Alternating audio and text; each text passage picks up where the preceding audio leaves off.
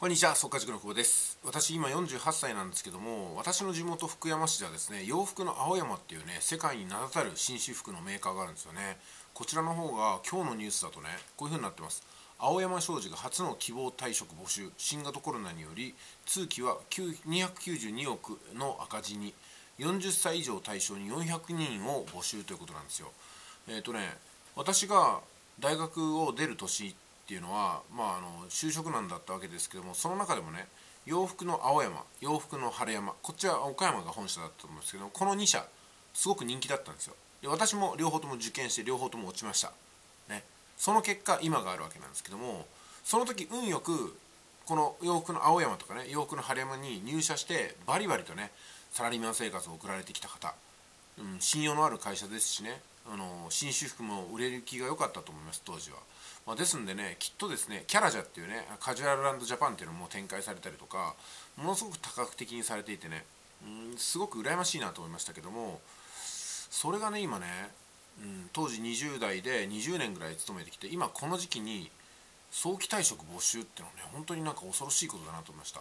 私は当時洋服の青山春山このどちらかに就職していたらもうね一番に行ってたと思うんですよ。そして頑張って20年ほど勤め上げて途中で住宅ローンを組んだりとか家族を作ったりとかして、まあ、車のローンもあるでしょう。いろんな支払いがある中で、うん、子供は中学か高校ぐらいですよね。で40代の半ばもしくは後半に来て希望退職、うん、これはすごくね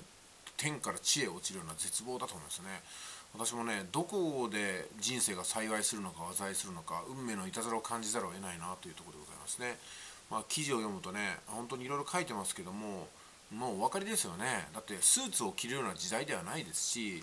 それこそねどっかの会社に就職しようみたいな時代ではなくてもう本当にねリモートだったりカジュアルな服装だったりとかスーツがどんどんどんどんいらなくなってきた。ネクタイ1本にしてもネクタイをしなくてもいいんだっていうことになるとネクタイの売れ行きがガンと落ちるわけですよね。洋服の青山のように新人発展セットみたいなこうやってきたところはネクタイが1本ポンとなくなるだけでもそれだけでもね大幅な売り上げ減になりますし、うん、やっぱライフスタイルの変化といいますかねあの服装にこだわらないような会社っていうのが増えてきたんで、まあ、それこそねスーツってのはどんどんどんどんレジャーで着るようになってきてね普段はまあ今みたいなこんなねラフな格好で作業は十分できますよね。それから今年なんていうのはリモートワークっていうのがだいぶこと出されてきまして在宅でもできちゃうと本当にねあのスーツなんて着る機会もないと、まあ、私もスーツを着るのは1年に1回あるかないかみたいになっちゃいましたね、うん。まあ、そんな中で洋服の青山売れ行きも当然悪い。新規でも売れないしリピートでスーツって売れるもんだと思っていたんですけどもリピートは当然なくなるということで非常に厳しい時代になってきたな。要するにサラリーマンという形を就職とかサラリーマンとか集団で企業に勤めるみたいな形があることによってその支えられてきた裾野っていうのがすごい広いわけですよね。洋服の青山とか春山みたいな紳士服が社用になってくるとそれに付随していた下請けさんも仕事がなくなってくるってことでかなりね車の陰に隠れて車産業もすごく大きなビジネスなんですけどもマーケットなんですけども車に隠れてやっぱりね紳士服っていうのも確かにあったなってことですよね。うん。まあ、今更ですけどもその新種服の青山とかが、あの、今年のね春先とかにマスクを大量に生産販売していたらどうだったのかなとか、うん、それから作業服を作る会社にぐっと変えていくとかね、うん、そういうふうなのはどうだったかなとかいろいろ考えちゃうんですけども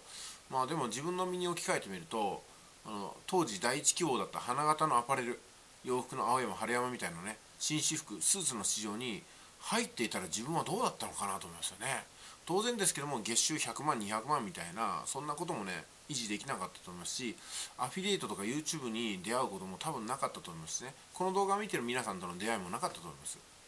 会社っていう中が全ての社会だというふうに、えー、こう感じながらねずっと生きてきてそして早期退職もしくはリストラされた時に自分の社会が全部なくなって否定されたような感じになってそれこそ絶望してしまったんじゃないかなと思うんですよ、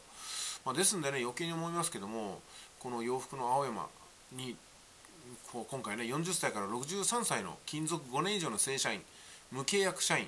同社での希望退職は初めてってありますけどもこの400人に選ばれた方っていうのはうんまあなんていう複雑なものがあるでしょうね、うん、いやそれでね私の住む町にもこういった不況の波が確実に訪れてるなと思います。うん。で通常はここまでで終わりなんですけど私の場合はだからどうするって話になってきます。ここまで動画をご覧になった方はかなりね、えー、ラッキーだと思うんですよ。これからはですね自分一人でもちゃんとね一般企業一流企業並みの会社が作れるんですよ。で月収にして100万200万っていうのはどんな大手に行ってもそれこそ取締役レベルに行かないと無理だった。年齢で言ったら50代とか60代に行かないと無理だったものが今はこの瞬間作れていけるんではないかなと思うんですよ。まあですんでねインターネットをはじめとする情報発信ビジネスを私はお勧めするわけなんですけどね。で本日は以上です。